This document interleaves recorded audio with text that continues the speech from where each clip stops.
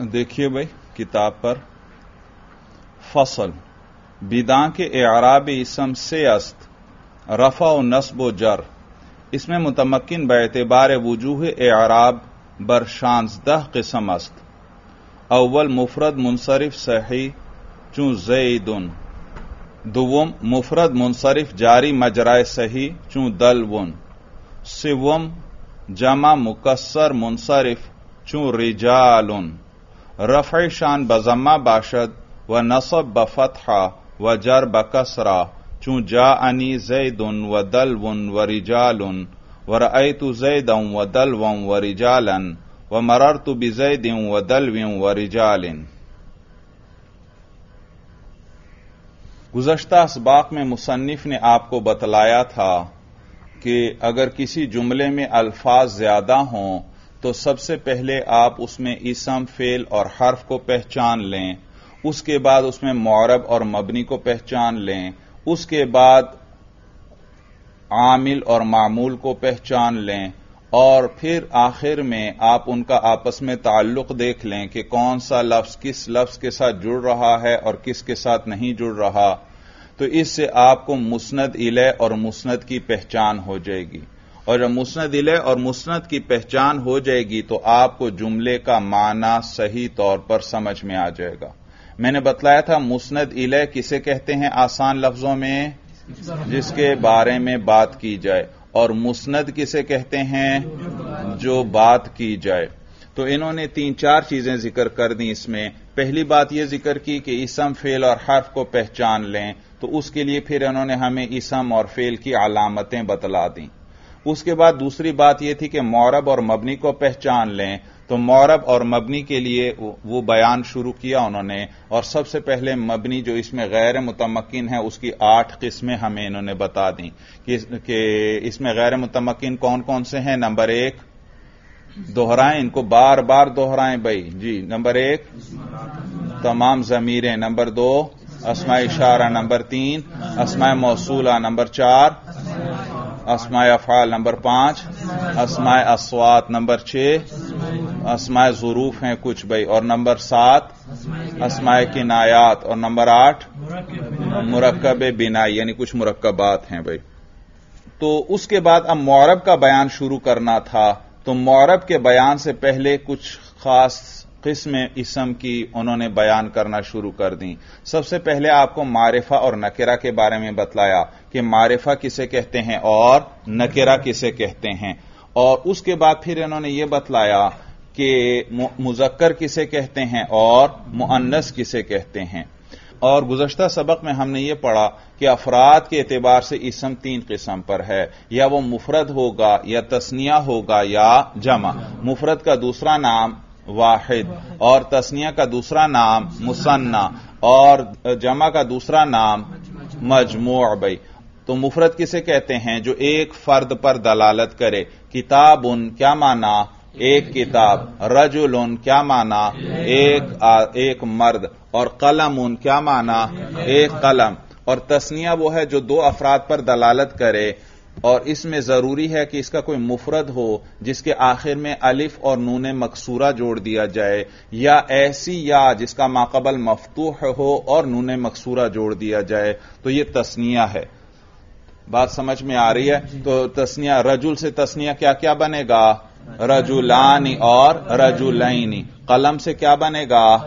कलमानी और कलमैनी। किताब से क्या बनेगा?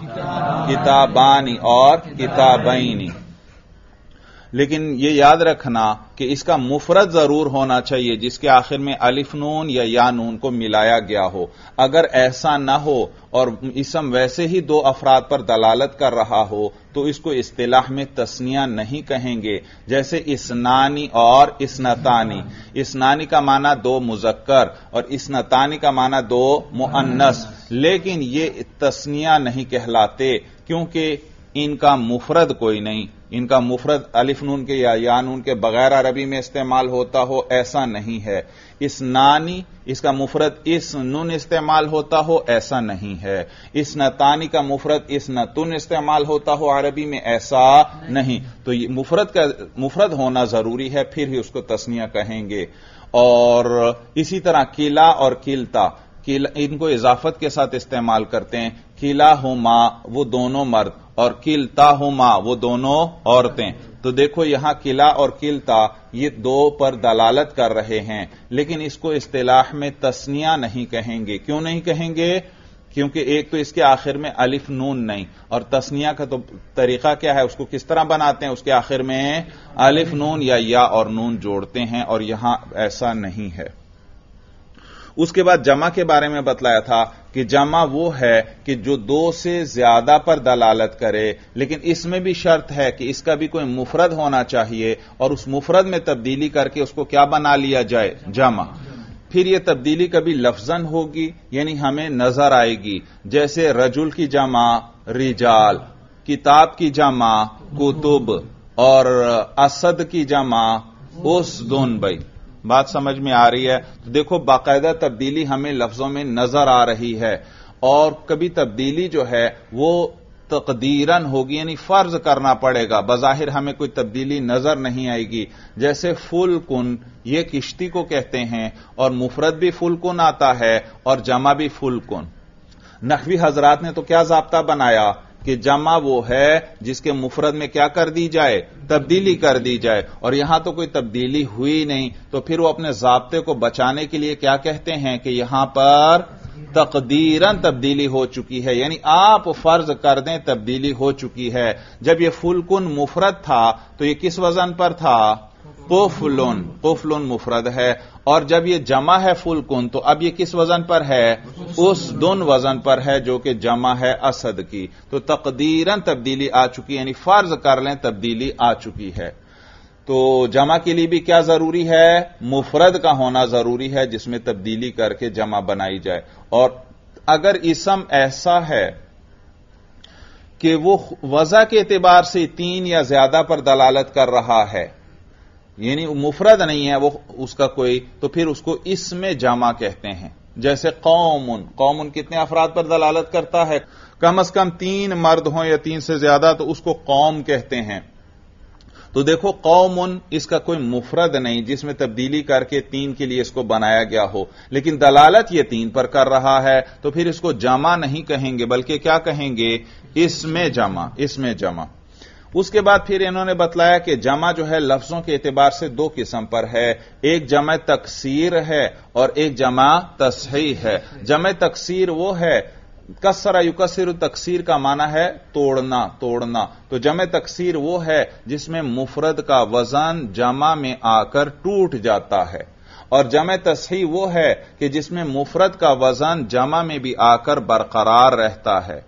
जमे तकसीर की मिसाल जैसे रजुल की जमा, रिजाल। देखो यहाँ रजुल पूरा बदल गया, रिजाल बन गया। और जैसे किताब की जमा, कुतुब। देखो किताब का लफ्ज पूरा बदल गया। इसी तरह असद की जमा उस दोन, देखो, असद की पूरी सूरत बदल गई। असद में तो अलिफ, शुरू में जो अलिफ है, यानी हमजा, उस पर भी जबर था, सीन पर भी जबर थी, लेकिन यहाँ पर उस दुन में, उस दुन में हमजा पर क्या आया? हमजा पर जम्मा आ गया, और सीन पर सीन पर सुकून आ गया। बात समझ में आ गई? तो ये जमा मुकसर है, और इन्होंने बतलाया था कि इसम तीन किस्म पर है। एक सुलासी है, एक रुबाई और खुमासी। रुबाई और जो खुमासी है, उसमें जमा मुकसर का वज़न मुतन है, वो फ़ालिलु वज़न पर आएगा। फ़ालिलु जैसे जाफ़र की जमा क्या आएगी? जहाफिर और जह मरिशुन जो खुमासी है, उसकी जमा क्या आएगी? जहामिरु। तो आखिरी पांचवां हर्फ गिर जाएगा यहाँ। और इसके अलावा सुलासी के अंदर जमा मुकसर का कोई जबता और कानून नहीं। एक लफ्ज के लिए अरब एक जमा लाते हैं तो दूसरे के लिए दूसरी लाते हैं, कोई जबता नहीं। जैसा अरबों से हमने सुना है, वैसा ही इस्तेमाल करना पड़ेगा। जैसे मैंने मिसाल ज़िक्र कर दी, किताब की जमा क्या आती है? कुतुब कुतुब। अब कलम की जमा आप कुलुम्ब करना चाहें, नहीं भाई, आप इस तरह नहीं कर सकते। अरबों को देखना पड़ेगा। हमने देखा तो अरब जो है कलम की जमा अकलाम इस्तेमाल करते हैं। अकलाम। इसी तरह असद। असद, देखो असद उन कलम उन वज़न एक है या नहीं? वज़न एक है। तो कलम की जमा क्या? अकलाम। तो असद की जमा क्या आनी चाहिए? असाद असाद, यानी आसाद आनी चाहिए। लेकिन नहीं, हमने देखा अरब क्या इस्तेमाल करते हैं? उस दोन इस्तेमाल करते हैं। तो देखो, सुलासी के अंदर जमा का कोई जाबता नहीं है, जमा मुकसर का। अरबों के इस्तेमाल को देखना पड़ेगा। उसके बाद जमे तस्ही के बारे में बतलाया था। जमे तस्ही वो है जिसमें मुफरत का वज़न जमा में बरकरार रहता है और ये दो किस्म पर है। एक जमा मुजक्कर सालिम और एक जमा मुअन्नस सालिम। जमा मुजक्कर सालिम, जैसे मुस्लिमुन की जमा मुस्लिमूना और मुस्लिमीना।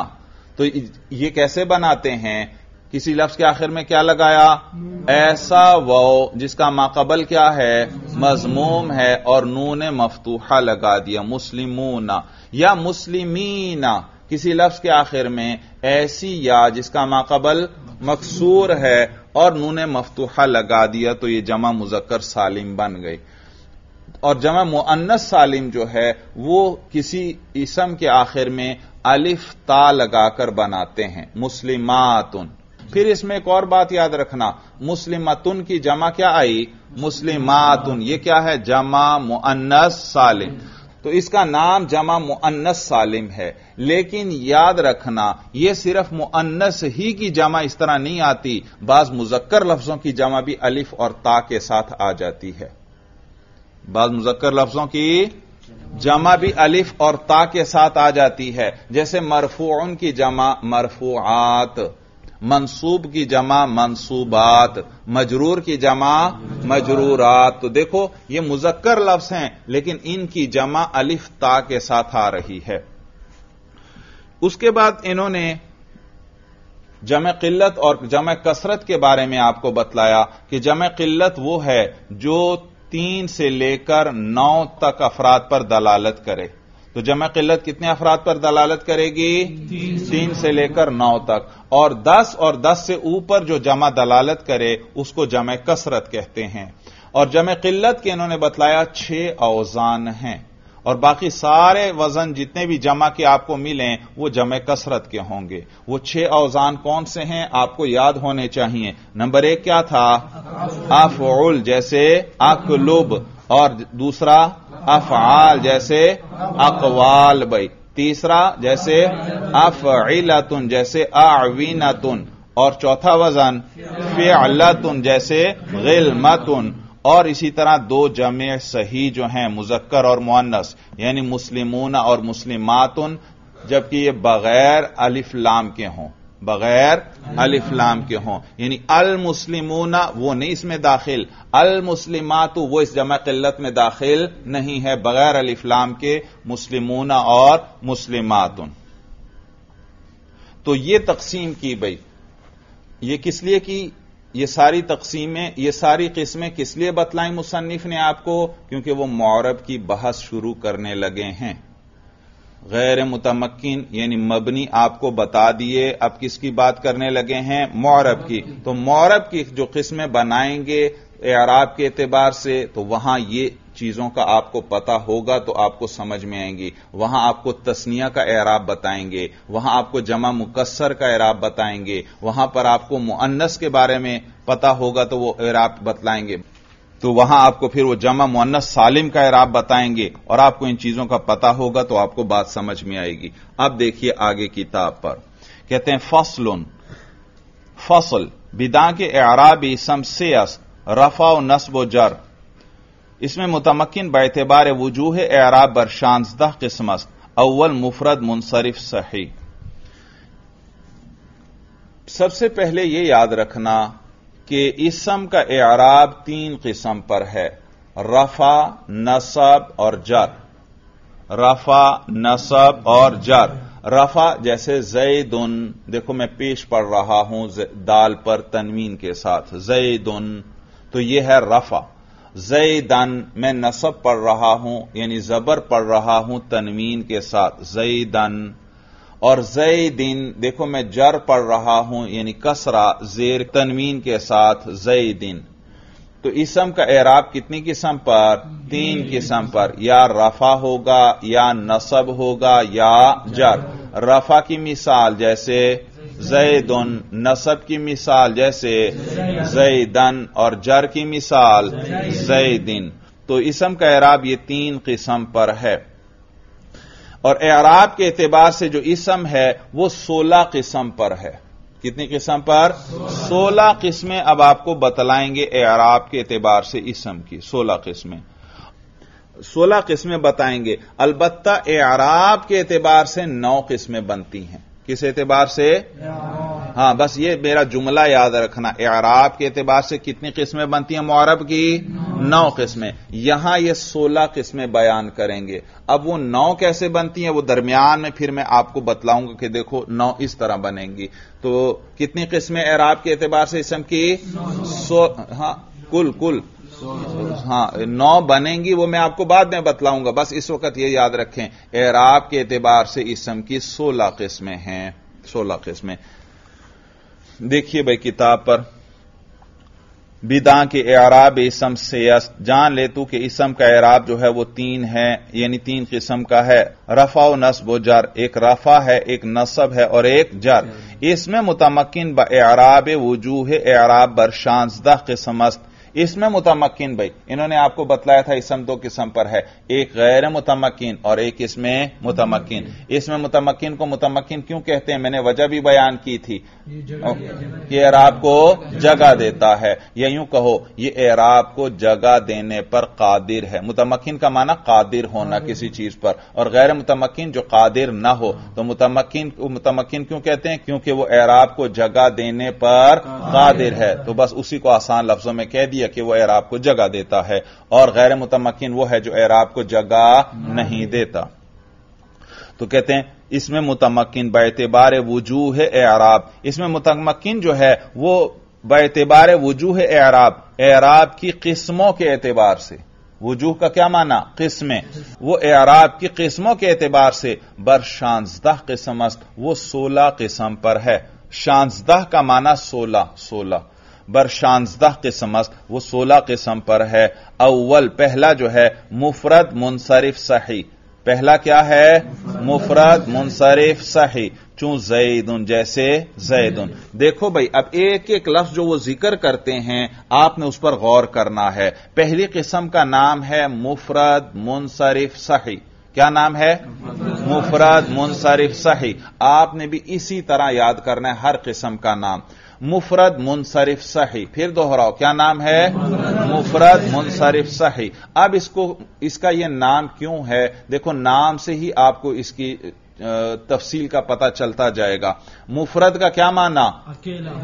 जी जो ए, जो एक पर दलालत करे यानी तस्निया और जमा ना हो। आगे तस्निया और जमा का चूँकि अलग ज़िक्र आने वाला है इसलिए यहाँ मुफरत की कैद लगा दी कि जिसकी हम बात कर रहे हैं वो तस्निया और जमा ना हो बल्कि क्या हो? मुफरत हो। क्या नाम है? मुफरत मुनसरिफ सही। मुफरत का पता चल गया। दूसरी दूसरा लफ्ज इन्होंने ज़िक्र किया मुनसरिफ हो। मुनसरिफ, ये गैर मुनसरिफ को निकालने के लिए। ये याद रखना, आगे एक किस्म आएगी, उसका नाम है गैर मुनसरिफ। उसका क्या नाम है? गैर मुनसरिफ। तो उसको निकालने के लिए जो है, यहाँ मुनसरिफ की, का लफ्ज बढ़ा दिया कि मुफरद होना चाहिए और मुनसरिफ होना चाहिए, यानी गैर मुनसरिफ ना हो। और सही सही का लफ्ज बढ़ा दिया, सही। भाई, आप तो सर्फी हजरात हैं। आपने सर्फ में एक सही पढ़ा होगा। क्या सही किसे कहते हैं सर्फ में? जिस जिसके हरफ, हरूफ असलिया के मुकाबले में कोई हरफ इल्लत भी ना हो और हमजा भी ना हो और दो हर एक जिन्स के भी ना हो। हरूफ इल्लत भी ना हो, जिसके हरफ असली के मुकाबले में तीन कैदे हैं सर्फ के अंदर। सही किसे कहते हैं? जिसके हरूफ असलिया के मुकाबले में हरफ इल्लत भी ना हो और नीज हमजा भी ना हो और दो हर्फ एक जिन्स के भी ना हो। ये तीनों शर्तें पूरी होंगी तो वो सर्फ में सही कहलाएगा। तो पहली क्या शर्त? के उसके हरूफ असलिया के मुकाबले में हरूफ असलिया किसे कहते हैं? जो फा आइन लाम के मुकाबले में आए जैसे जाराबा बरवजने फा आला देखो जाद फा के मुकाबले में रा आइन के मुकाबले में और बा लाम के मुकाबले। तो जाराबा बरवजने फा आला और तो मालूम हो ये तीनों हर्फ असली हैं क्योंकि ये फा आइन या लाम के मुकाबले में हैं। और जारिबुन जारिबुन ये किस वज़न पर है? फ़ाइल। मालूम हो ये अलिफ क्या है? जायद है। मजरूबुन, ये किस वज़न पर है? मफूल मालूम हो इसमें मीम भी जायद और वो भी जायद है। तो बस फा आइन लाम के मुकाबले में आए, जो आए, वो है हरफ असली। और बाकी क्या है? हरफ जायद तो क्या बतलाया? सही किसे कहते हैं? जिसके फा आइन या लाम के मुकाबले में कोई हरफ इल्लत ना हो, हरूफ इल्लत किसे कहते हैं? वो अलिफ या वो अलिफ या। इनका मजमुआ क्या बनता है? वाय बनता है वाय। और तो वो अलिफ या, और ये हरूफ इल्लत हैं। तो ये फा आइन लाम के मुकाबले में वो भी नहीं आना चाहिए, अलिफ भी नहीं आना चाहिए, और या भी नहीं आनी चाहिए। दूसरी शर्त कि फा आइन लाम के मुकाबले में हमजा भी ना आए। हमजा भी ना आए। अगर फा आइन लाम के मुकाबले में हमजा आ जाए तो फिर इसको सही नहीं कहते, बल्कि इसको महमूस कहते हैं, आप पढ़ चुके हैं। और नीस फा आइन लाम के मुकाबले में कोई दो हर्फ एक जिन्स के भी नहीं होने चाहिए। यानी दो दाल आ जाएँ, या दो जाल आ जाएँ, या दो बा आ जाए। या दो जीम आ जाएँ तो दो हर्फ एक जैसे नहीं होने चाहिए। अगर दो हर्फ एक जैसे आ गए तो इसको क्या कहेंगे? मुजाफ कहेंगे। बहस जहन में आ गई भाई। तो सर्फ में सही किसे कहते हैं? जिसके हरूफ असलिया के मुकाबले में हर्फ इल्लत भी ना आए और हमजा भी ना आए और दो हर्फ एक जिन्स के भी ना आए। लेकिन यह सर्फ के अंदर ऐसा है। नह के अंदर सही की और तारीफ़ करते हैं। नहवी चूँकि बहस करता है एराब से कि किसी इसम पर, किसी लफ्ज पर एराब कैसे आएगा। और एराब आता है आखिरी हर्फ पर। किस पर? आखिरी हर्फ पर। जैसे जैद है। जैद के अंदर एराब कहाँ पर आएगा? दाल जो आखिर में है, और इसी तरह असद असद में एराब कहाँ पर आएगा? दाल पर जो आखिर में है। तो एराब चूँकि आखिरी हर्फ पर आता है, लिहाजा नहवियों के नज़दीक सही वो है, जिसके आखिर में हरफ इल्लत न हो। जिसके आखिर में हरफ इल्लत न हो। यानी अलिफ वाओ या या उसके आखिर में न हो। जैसे आसा या जैसे ईसा इसके आखिर में क्या रहा है? हरफ इल्लत। यानी अलिफ है। मालूम हुआ यह सहीह नहीं है। या और मिसाल ले लें। जैसे जैसे दलवुन। दलवुन के आखिर में क्या है? वाव है हरफ इल्लत है। मालूम हुआ यह सहीह नहीं है। तो नहवी किससे बहस करता है? एराब से। लिहाजा वो सिर्फ़ किस हर्फ की बात करेगा? आखिरी हर्फ की। तो आखिरी हर्फ पर एराब आता है। इसलिए आखिर में हर्फ इल्लत न हो तो वो सही है। नहवियों के नज़दीक। सर्फियों की तारीफ़ और और नहवियों की तारीफ़ और। फिर देखिए भाई, पहली किस्म क्या बतलाई? मुफरत मुनसरिफ, सही। मुफरत क्या माना? कि तस्निया जमा न हो। मुनसरिफ क्या माना? गैर मुनसरिफ ना हो और सही क्या माना? जिसके आखिर में हरफ इल्लत यानी वो अलिफ या ना आए। चू जैदुन जैसे जैदुन। देखो, जैदुन मुफरद है, तस्निया है या जमा है? मुफरद। है तस्निया कैसे बनाएँगे इसकी?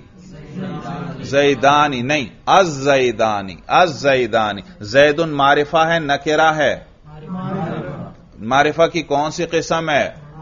आलम है, नाम है नाम है। तो जैदुन अलम है, नाम है। अब हम इसकी तस्निया बनाते हैं। तस्निया बनाने का क्या तरीका? आखिर में अलिफ और नून मकसूरा या या और नून मकसूरा मिलाते हैं। लेकिन जब अलिफ और नून मकसूरा मिलाएँगे तो फिर माना हो जाएगा जैदानी, दो जैद।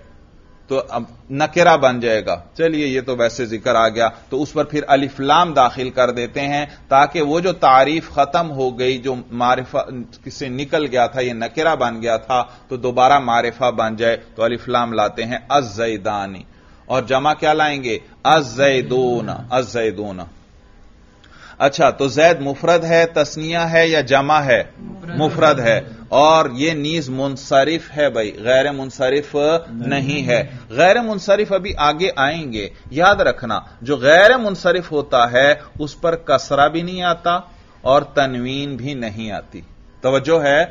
गैर मुनसरिफ पर कसरा भी नहीं आता और तनवीन भी नहीं आती। यानी सिर्फ़ जम्मा या फतहा आएगा बगैर तनवीन के। गैर मुनसरिफ पर क्या आएगा? सिर्फ़ जम्मा या फतहा बगैर तनवीन के। और जैदुन, इस पर तनवीन पढ़ रहे हैं या नहीं पढ़ रहे? मालूम हुआ यह गैर मुनसरिफ नहीं है, बल्कि मुनसरिफ है। तीसरी बात क्या की कि यह सही होना चाहिए। मुफरद मुनसरिफ सही। देखो, जैदुन के आखिर में दाल है वो अलिफ या या नहीं है। तो यह मुफरद मुनसरिफ सही है। मुफरद मुनसरिफ सही है। और इसका एराब आगे चलकर आपको बताएँगे कि इसका रफा जम्मा के साथ आएगा यानी पेश पड़ेंगे तनवीन के साथ जैदुन। और इसका नसब जो है फतहा आएगा तनवीन के साथ जैदन। और इसका जर जो है वो कसरा के साथ आएगा कसरा तनवीन के साथ जैदिन। तो जैदुन, ये कौन सा इराब मैं पढ़ रहा हूँ? रफा। जैदन, ये कौन सा इराब है? नसब। जैदिन ये कौन सा इराब है? जर। तो मुफरद मुनसरिफ सही। इसका रफा आता है जम्मा के साथ। तवज्जो है। इसका रफा किसके साथ आता है? जम्मा के साथ। और नसब किसके साथ आता है? फतहा के साथ। और जर किसके साथ आता है? कसरा के साथ। यहाँ एक और बात भी याद रखो भाई मैंने पहले भी ज़िक्र की थी कि एक है रफा नसब जर।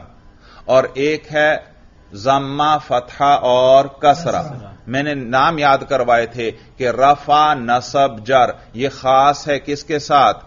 यह खास है मौरब के साथ।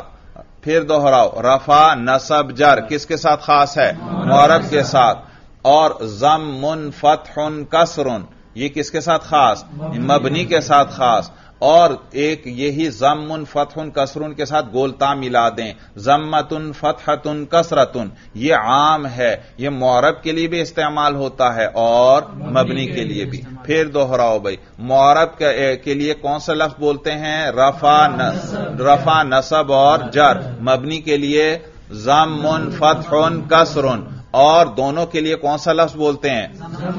जम्मतुन, फतहतुन, कसरतुन। गोलता ये मैं आपको समझाने के लिए पढ़ रहा हूँ, वरना यही गोलता वक्फ में हा बन जाती है। जम्मा, फतहा और कसरा। यहाँ तक बात समझ में आ गई तो देखो अब ये क्या कह रहे हैं? इन्होंने क्या बतलाया कि इसम का एराब तीन किस्म पर है, रफा, नसब और जर। और फिर पहले किस्म क्या बतलाई? मुफरद, मुनसरिफ, सही। उसका एराब क्या होगा? रफा, जम्मा के साथ। देखो, रफा और जम्मा। अब फ़र्क समझ में आ रहा है। इसका रफा किसके साथ होगा? जम्मा के साथ। नसब किसके साथ? फतहा के साथ। और जर कसरा के साथ होगा भाई। और नीस एक और बात याद रखना। जैदुन, जी, सुनने से कुछ पता चल रहा है? मैं क्या पढ़ रहा हूँ? क्या पढ़ रहा हूँ? रफा। जैदन, अब मैं क्या पढ़ रहा हूँ? नसब। जैदिन, अब मैं क्या पढ़ रहा हूँ? जर। तो इसको एराब लफ्जी कहते हैं। क्या कहते हैं? एराब लफ्जी वो है कि जो तलफुज से ही पता चल जाए कि क्या पढ़ा जा रहा है। जैदुन, देखो मेरे तलफुज से ही पता चल गया, मैं क्या पढ़ रहा हूँ जैद पर? रफा। और जैदन, मेरे तलफुज से ही आपको पता चल गया, मैं जैद पर क्या पढ़ रहा हूँ? नसब। और जैदिन, मेरे तलफुज से ही पता चल गया, मैं जैद पर क्या पढ़ रहा हूँ? जर पढ़ रहा हूँ। तो ये एराब लफ्जी कहलाते हैं। क्या कहलाते हैं? अभी कुछ आगे किस्में आएँगी, उनमें एराब तकदीरी होगा। तो बस ये एराब लफ्जी आपने याद रखना है। एराब लफ्जी जहाँ तलफुज से ही एराब का पता चल जाए। तो जैदन जैदन, जैदिन। मालूम हो इस पर तीनों तरह का एराब लफ्जी हैं। रफा भी, नसब भी और जर भी। तो कहते हैं कि इसमें मुतमकिन बैतबार वजूह एराब बर शांसदह किस्म कि इसमें मुतमकिन जो है वो एराब की किस्मों के एतबार से सोलह किस्म पर है। अव्वल मुफरद मुनसरिफ सही पहली किस्म जो है वह मुफरद मुनसरिफ सही है, चू जैदुन, जैसे जैदुन। दुवम मुफरद मुनसरिफ जारी मजराए सही। दूसरी किस्म मुफरद मुनसरिफ जारी मजराए सही। मुफरद का क्या माना? तस्निया और जमा ना हो। मुनसरिफ का क्या माना? गैर मुनसरिफ ना हो। लेकिन पिछले में आया था कि वो सही हो और यहाँ आया जारी मजराए सही। जारी मजराए सही। जारी मजराए सही का माना है कायम मकाम सही। जारी मजराए सही का क्या माना? कायम मकाम सही यानी एक लफ्ज सही तो नहीं, लेकिन सही जैसा है। सही के कायम मकाम है यानी सही जैसा है। ये उस इसम को कहते हैं जिसके आखिर में कोई हरफ इल्लत हो और माकबल उसका साकिन हो। तवज्जो है? कायम मकाम सही किसको कहते हैं? ऐसा इसम जिसके आखिर में क्या है? हरफ इल्लत हो। और उस हरफ इल्लत का माकबल साकिन हो। यानी वो हरफ इल्लत पर तो हरकत हो लेकिन माकबल साकिन हो। जैसे दल वन दाल लाम और वौ दल वन आखिर में क्या आया? वौ और वौ तो ये सही तो नहीं क्योंकि सही में तो क्या क्या थी कि उसके आखिर में हरफ इल्लत ना हो। तो यह सही तो नहीं, लेकिन इसको कायम मकाम सही कहते हैं। इसलिए क्योंकि इस पर एराब का पढ़ना सही की तरह आसान होता है। जैसे जैदुन, जैदन, जैदिन, इस पर तीनों तरह के एराब पढ़ना आसान थे। इसी तरह दलवन दलवन, दलविन, इस पर भी तीनों तरह के एराब पढ़ना आसान है। तो यह सही तो नहीं, लेकिन सही के कायम मकाम है, सही जैसा है, उसी की तरह इस पर एराब पढ़ना आसान। बात समझ में आ रही है? भाई याद रखो जिस इसम के आखिर में हरफ इल्लत आ जाए उस पर एराब पढ़ना आसान नहीं होता। उस पर एराब कभी आएगा कभी नहीं आएगा। तो उस पर एराब का पढ़ना आसान नहीं यानी सारे एराब नहीं आते। लेकिन ये जो कायम मकाम है सही होता है इसमें इसके आखिर में हरफ इल्लत भी है और फिर भी इस पर तीनों एराब आ रहे हैं। दल वन दल वन दल विन देखो, तीनों एराब आ रहे हैं। क्यों? इस पर एराब का आना आसान क्यों है? क्योंकि इसके आखिर में जो हर्फ इल्लत है, इससे माकबल वाला हर्फ साकिन है। तो माकबल में सुकून आने की वजह से अब इस वाव या या पर हरकत पढ़ना आसान होता है। बात समझ में आ गई। तो इसको क्या कहते हैं? दल बुन ये क्या है?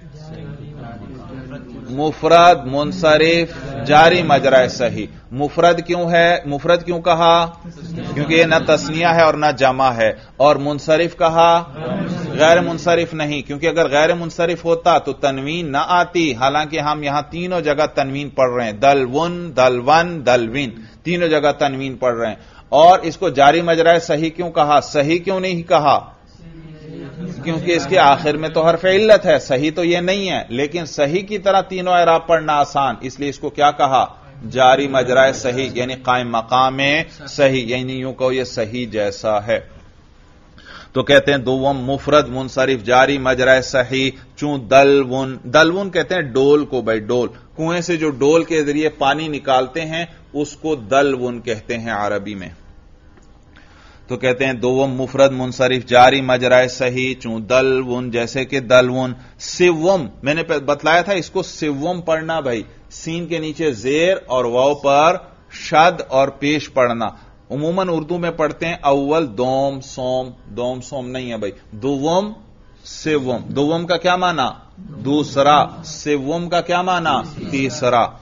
तो सिवम तीसरा जो है, जमा मुकसर मुनसरिफ।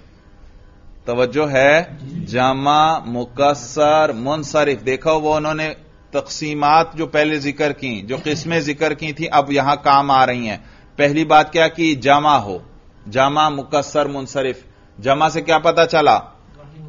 वाहिद या तस्निया नहीं, बल्कि किसकी बात कर रहे हैं? जमा की बात कर रहे हैं। मुकसर मुकसर से क्या पता चला? कि जमा सालिम की बात नहीं कर रहे, किस जमा की बात कर रहे हैं? मुकसर जिसमें मुफरत का वज़न जमा के अंदर आकर टूट चुका है। और मुनसरिफ क्या माना? यानी गैर मुनसरिफ न हो। तो जमा मुकसर मुनसरिफ, चू रिजाल जैसे रिजाल रिजाल रिजाल देखो, हालत रफी में कैसे पढ़ेंगे? रिजाल हालत नस्बी में कैसे पढ़ेंगे रिजालन। और हालत जरी में कैसे पढ़ेंगे रिजालिन। तो देखो यहाँ पर भी तीनों एराब आ रहे हैं। रफा किसके साथ? जम्मा के साथ। नसब फतहा के साथ। और जर कसरा के साथ। तो तीनों किस्मों का एराब एक जैसा है। तो इसीलिए कहा रफ शान अब तीनों की बात करने लगे हैं। रफ शान शान का माना? इनका इनका रफ शान इनका रफा। रफ शान तर्जमा समझ में आ रहा है? रफ शान इनका रफा। बजम्मा बाशद जम्मा के साथ होगा। व नसब ब फतहा और नसब फतहा के साथ होगा। व जर ब कसरा और जर कसरा के साथ होगा। चूं जैसे कि जा अनी जैदों व दलवू व रिजाल देखो जा अनी जा आ फेल है और आगे इसके लिए फ़ाइल चाहिए और फ़ाइल याद रखना मरफू होता है। फ़ाइल क्या होता है? मरफू। अच्छा तो जैदुन, ये रफे का मकाम है, ये फ़ाइल है, और इसी पर आतफ है दलवन का भी, रिजालुन का भी। तो ये तीनों पर रफा आ रहा है। तो किस तरह रफा आया? देखो, एक जैसा रफा सब पर आ रहा है। जा अनी जैदुन व दलवन व रिजालुन। व रई तू जैदन व दलवन व रिजालन। देखो, यहाँ नसब है, एक जैसा नसब, एक जैसी हरकत तीनों पर आ रही है। रई तू जैदाऊ व दलवाऊ व रिजालन। और तीसरा है मरर तू जैदिन व दलविन व रिजालिन। तो जर भी तीनों पर एक जैसा आ रहा है। हालत रफा में कैसे पढ़ेंगे? जैदुन, दलवुन और रिजालुन। हालत नस्बी में कैसे पढ़ेंगे? जैदन, दलवन और रिजालन। और हालत जरी में कैसे पढ़ेंगे? जैदिन, दलविन और रिजालिन। तो ये तीनों का एराब एक जैसा है। अच्छा मैंने आपको बताया था कि ये एराब के एतबार से इसम की सोलह किस्में हैं। कितनी किस्में? लेकिन एराब नौ किस्म का है। एराब कितनी किस्म का? देखो तीन किस्मों का एक ही एराब है। ये जो अभी तक तीन गुजरी।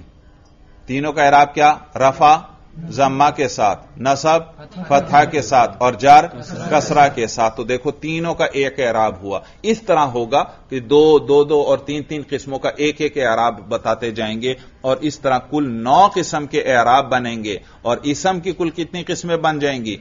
सोलह। सोलह किस्में और एराब कितनी किस्म पर हो जाएगा? नौ। जैसे यहाँ कितनी किस्में गुजर गई अभी तक?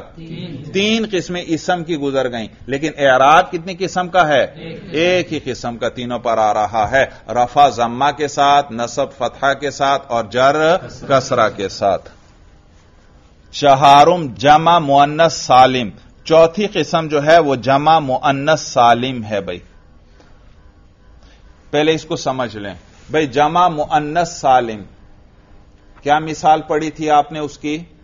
मुस्लिमातुन, जिसके आखिर में अलिफ्ता आए भाई। मुस्लिमातुन, मुस्लिमा। और याद रखो, ये अलिफ्ता जायद होनी चाहिए। क्या होनी चाहिए? असले कलिमा का जुज ना हो, वरना ये जमा मुन्नस सालिम नहीं है। जैसे मौत की जमा क्या आती है? अमवात।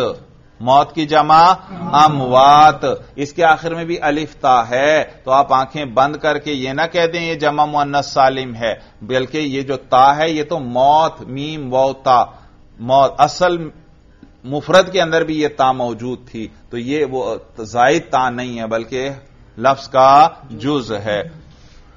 बात चल रही थी जमा मुन्नस की। जमा मुन्नस की क्या मिसाल पढ़ी आपने? मुस्लिमातुन याद रखना इसका एराब इसका एराब। रफा होगा जम्मा के साथ।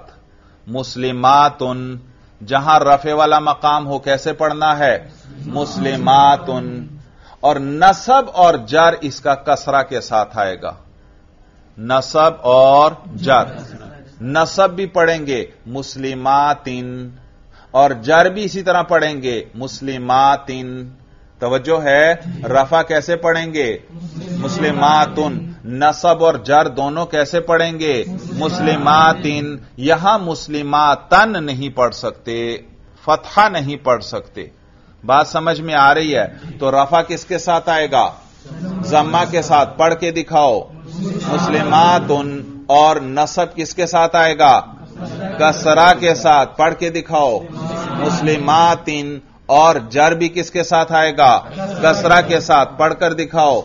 मुस्लिमातिन तो देखो, नसब भी मुस्लिमातिन और जर भी मुस्लिमातिन। तो इसका नसब जर जैसा है। इसका नसब जर, यानी नसब और जर की सूरत एक जैसी है। लेकिन कलाम में जहाँ नसब आएगा, वहाँ आपको पता चल जाएगा।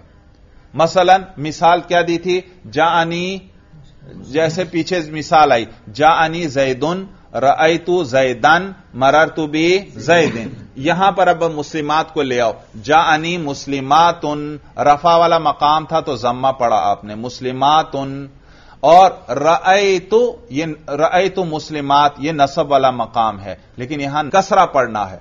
यहाँ नसब की हालत में भी क्या पढ़ना है आपने? कसरा पढ़ना है। रई तो मुस्लिमातिन। वहाँ क्या था जैद में? रई तो जैदन। और यहाँ क्या है? रई तो मुस्लिमातिन। भाई, आप कसरा पढ़ रहे हैं तो इसका नसब किस सूरत में आता है?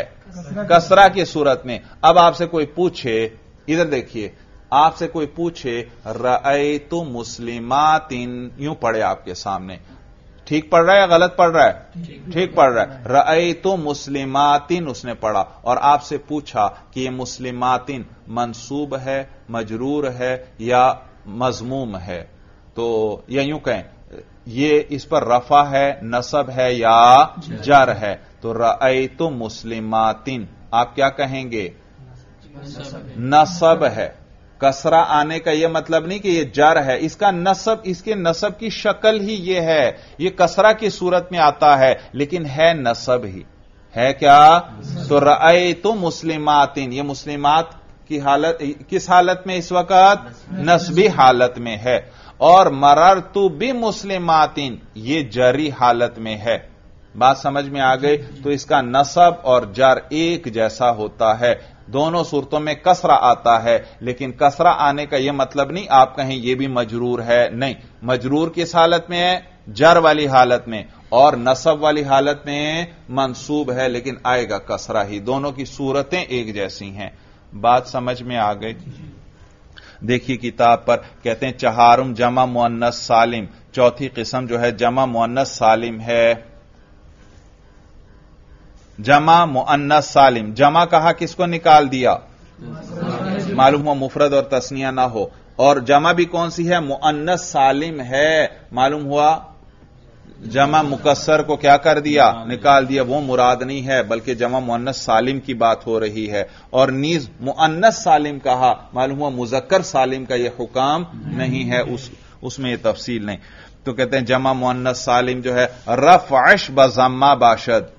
क्या तर्जमा करेंगे? रफ अश शीन शीन उसके लिए आता है। रफ अश उसका रफा जो है, यानी जमा मोन सालिम का रफा जो है, बजम्मा बाशत जम्मा के साथ होगा। वह नसब व जर ब कसरा, और नसब और जर कसरा के साथ होंगे। चूं हुन मुस्लिमातुन, देखो रफा में, रफा। व रई तो मुस्लिमातिन ये नसब है। वह मरर तो बे और ये जर है।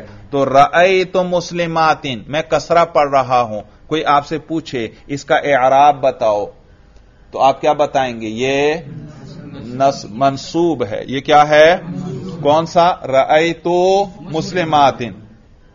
वो फिर एतराज़ करेगा। कहेगा, भाई, इसके नीचे तो मैं कसरा पढ़ रहा हूँ। आप इसको मंसूब कैसे कहते हो? तो आप जवाब में क्या कहेंगे? कि इसका नसब आता ही कसरा की सूरत में है। यह है नसब ही, लेकिन किस सूरत में आया? कसरा। जैसे देखो, जैद और बकर मसलन दो भाई हैं, दोनों जुड़वा भाई हैं। एक का नाम जैद, दूसरे का नाम बकर। अब बकर चूँकि जुड़वा भाई है, वो बिल्कुल जैद जैसा है कि जैद जैसा नहीं है? बिल्कुल जैद जैसा है। लेकिन क्या, जब दोनों एक दूसरे जैसे हो गए तो बकर को जैद कहेंगे? नहीं, जैद जैद है और बकर बकर है। यहाँ भी इसी तरह कि नसब, जर जैसा है, लेकिन जर नहीं। इसको नसब ही कहना है, चाहे कसरा आ रहा है। और वह मरर तू भी मुस्लिमातिन जी, ये देखो, जर आ गया।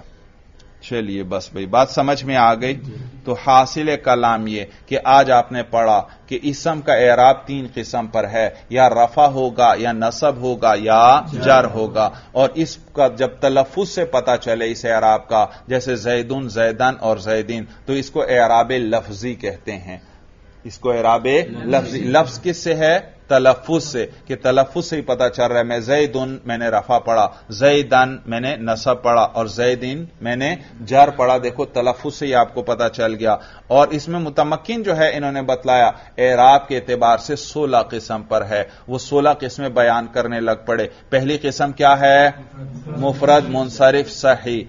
जैसे इसकी मिसाल, जैदुन, मिसाल भी साथ याद रखें। दूसरी किस्म मुफरद मुनसरिफ जारी मजरा सही, जैसे दलउन ये किसको कहते हैं? वो नहीं, ये जारी मजरा सही किसे कहते हैं? कायम मकाम सही, क्या माना? हाँ नहीं, जिसके वो इसम, जिसके आखिर में हरफ इल्लत हो और माकबल उसके साकिन हो। बात समझ में आ गई। दलवन, ये क्या है? जारी मजराए सही है। और जब युन ये भी क्या है? देखो, आखिर में यह है और माकबल बात साकिन है जब युन और इसी तरह लाहौरी युन पाकिस्तानी युन ये भी क्या है? ये भी याद रखना, जारी मजराए सही है। ये जो, जिसके आखिर में या मुशद आ जाए लाहौरी युन पाकिस्तानी युन ये भी क्या है? जारी मजराए सही। कैसे जारी मजराए सही है? भाई, तारीफ़ इस पर लगाकर देख लें। तारीफ़ क्या थी? जारी मजराए सही किसे कहते हैं? जिसके आखिर में वाओ या या हो और माकबल क्या हो? साकिन। लाहौरी युन इसके आखिर में या मुशद्दद है। और ये जो हर्फ मुशद्दद होता है, ये दरअसल दो हर्फ होते हैं। पहला साकिन होता है, दूसरा मुतहरिक होता है। लाहौरी युन लाहौरी युन देखो, पहली या साकिन और दूसरी या पर हरकत। तो ये देखो, आखिर में या आ गई और या का माकबल साकिन है। तो इसको भी क्या कहेंगे? जारी मजरा सही। इसी तरह, पाकिस्तानी युन ये भी क्या है? जारी मजराए सही है। तो जिस इसम के आखिर में याय मुशद्दद आ जाए या वाव मुशद्दद आ जाए तो आप समझ जाए, ये क्या है? जारी मजराए सही है। तो पहली किस्म क्या थी? मुफरद मुनसरिफ सही, जैसे कि जैद। और दूसरी किस्म क्या है? मुफरद, पूरे पूरा नाम लें। मुफरद मुनसरिफ जारी मजराए सही। और इसकी मिसाल दल दलवन और लाहौरी यून को याद रखें ताकि ये जहन में रहे। दल दलवन और लाहौरी यून तीसरी किस्म क्या थी? जमा मुकसर मुनसरिफ भाई, जैसे रिजालुन। और इन सब का रफा किसके साथ आता है? जम्मा के साथ और नसब फथा के साथ और जर, कसरा के साथ। और चौथी किस्म क्या थी? जमा मुन्नस साले इसका इसका रफा किसके साथ? जम्मा के साथ। और नसब और जर दोनों कसरा के साथ। क्या इस पर फतहा आ सकता है? नहीं, इस पर कभी फतहा नहीं आ सकता, बल्कि इसका नसब कसरा की शक्ल में आता है। जैसे हुन्ना मुस्लिमातुन वरअ तो मुस्लिमातिन और मरर तो भी मुस्लिमातिन। चलिए बस भाई हादा मराम। अल्लाह आलम भी हकीकत कलाम।